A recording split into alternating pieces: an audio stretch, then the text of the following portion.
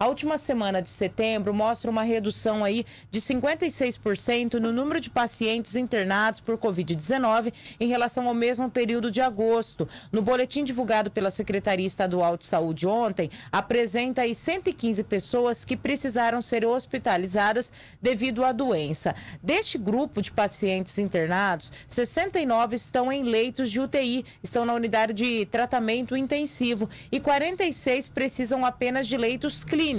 Neste mesmo período do mês passado, 27 de agosto, eram 266 hospitalizados, ou seja, mostra-se uma queda de 56%. Segundo os especialistas, esse cenário positivo é em função do aumento do processo de vacinação no estado.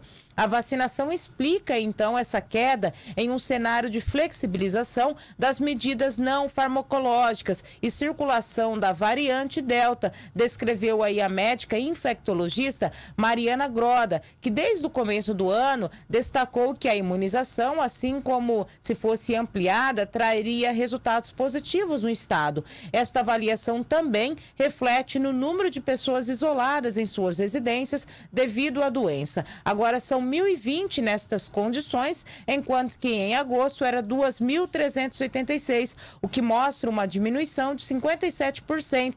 Um dos fatores que explicam a queda é a taxa de contágio, que se mantém abaixo de 0,90 desde a segunda quinzena de julho.